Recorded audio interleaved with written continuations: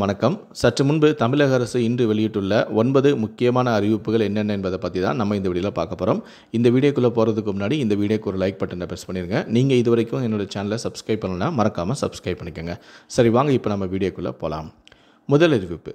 தீபாவளிக்கு மூன்று நாட்களில் பத்தாயிரத்தி இருநூத்தி எண்பத்தி நான்கு சிறப்பு பேருந்துகள் இயக்கப்பட்டுள்ளதாகவும் சென்னையிலிருந்து சுமார் ஐந்து லட்சத்தி எழுபதாயிரம் பேர் பயணம் செய்துள்ளனர் எனவும் சென்னைக்கு வரும் பயணிகளின் வசதிக்காக இன்று முதல் நான்காம் தேதி வரை பனிரெண்டாயிரத்தி எண்ணூற்றி அறுபத்தி நான்கு சிறப்பு பேருந்துகள் இயக்கப்படும் எனவும் தங்களுடைய பயணத்தை முன்கூட்டியே திட்டமிட்டு காலியாக உள்ள இருக்கைகளில் முன்பதிவு செய்து பயணிக்கலாம் என அரசு விரைவு போக்குவரத்து கழக மேலாண் இயக்குநரான மோகன் தெரிவித்துள்ளார்.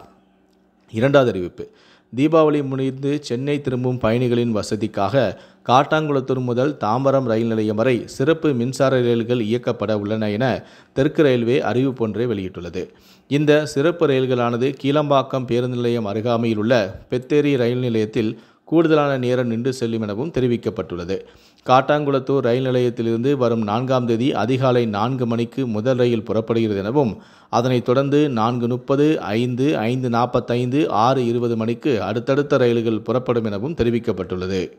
மூன்றாவது அறிவிப்பு. சூரசம்ஹாரத்தை ஒட்டி நவம்பர் ஆறாம் தேதி பல்வேறு ஊர்களிலிருந்து திருச்செந்தூருக்கு சிறப்பு பேருந்துகள் இயக்கப்படும். சென்னை சேலம் கோவை ஈரோடு திருப்பூர் பெங்களூரிலிருந்து திருச்செந்தூருக்கு சிறப்பு பேருந்துகள் இயக்கப்படும் எனவும் நவம்பர் ஏழாம் தேதி திருச்செந்தூரிலிருந்து பல்வேறு இடங்களுக்கும் பக்தர்களின் வசதிக்காக சிறப்பு பேருந்துகள் இயக்கப்படுகின்றன. டிஎன்எஸ்டிசி டாட் இன் மற்றும் டிஎன்எஸ்டிசி ஆப் மூலமாக பயணிகள் முன்பதிவு செய்து கொள்ளலாம். நான்காவது அறிவிப்பு. தீபாவளி பண்டிகையை முன்னிட்டு தமிழ்நாட்டில் இரண்டு நாட்களில் நானூற்றி முப்பத்தி ஒன்பது கோடிக்கு மது விற்பனை செய்யப்பட்டுள்ளது. கடந்த ஆண்டை விட இருபத்தி ஒன்பது கோடி குறைவு எனவும் கடந்த இரண்டாயிரத்தி இருபத்தி மூணாம் ஆண்டு தீபாவளியின் போது இரண்டு நாட்களில் நானூற்றி அறுபத்தி ஏழு கோடிக்கு மது விற்பனையானது குறிப்பிடத்தக்கது.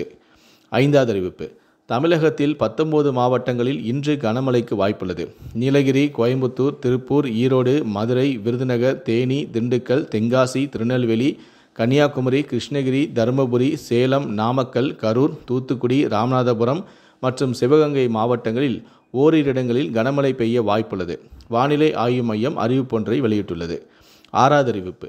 ராமநாதபுரத்திலிருந்து தாம்பரத்துக்கு நவம்பர் மூன்றாம் தேதி அதாவது நாளை பிற்பகல் மூன்று மணிக்கு சிறப்பு ரயில் இயக்கப்படும் என தெற்கு ரயில்வே அறிவிப்பொன்றை வெளியிட்டுள்ளது. இந்த சிறப்பு ரயிலானது ராமநாதபுரத்திலிருந்து நவம்பர் மூன்றாம் தேதி பிற்பகல் மூன்று மணிக்கு புறப்பட்டு இரவு பதினோரு நாற்பது மணிக்கு தாம்பரத்தை அடையும் எனும் தெரிவிக்கப்பட்டுள்ளது. ஏழாவது அறிவிப்பு. நாடு முழுவதும் நடப்பு மாதத்திற்கு வீட்டு உபயோக சிலிண்டர் விலையில் மாற்றம் செய்யப்படாத நிலையில் பத்தொன்பது கிலோ வர்த்தக சிலிண்டரின் விலையானது அறுபத்தி ரெண்டு ரூபாய் அதிகரிக்கப்பட்டுள்ளது. நடப்பு மாதத்துக்கான சிலிண்டர் விலையை எண்ணெய் நிறுவனங்கள் கூட்டமைப்பானது நேற்று வெளியிட்டன.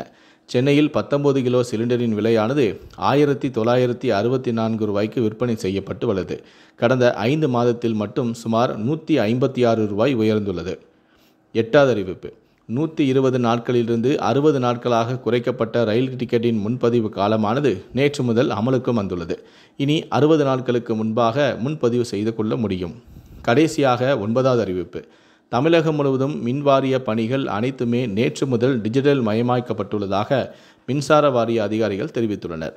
தலைமை அலுவலகத்தில் ஒப்புதல் பெற காகித கோப்பிற்கு பதில் கணினி வழி நடவடிக்கைகள் நேற்று முதல் நடைமுறைக்கு கொண்டு வரப்பட்டுள்ளதாக மின்சார வாரிய அதிகாரிகள் தெரிவித்துள்ளனர். இந்த ஒன்பது அறிவிப்புகளை பற்றிய உங்களுடைய கருத்துக்களை கீழே இருக்கக்கூடிய கமெண்ட் செக்ஷனில் மறக்காமல் சொல்லுங்கள் முடிந்தளவுக்கு இந்த வீடியோவை மற்றவங்களுக்கும் ஷேர் பண்ணுங்கள் மேலும் இது போன்ற பல வீடியோக்களை பார்க்கணும் அப்படின்னு வச்சிங்கன்னா மறக்காமல் நினச்சல சப்ஸ்கிரைப் பண்ணுங்கள் நன்றி வணக்கம்.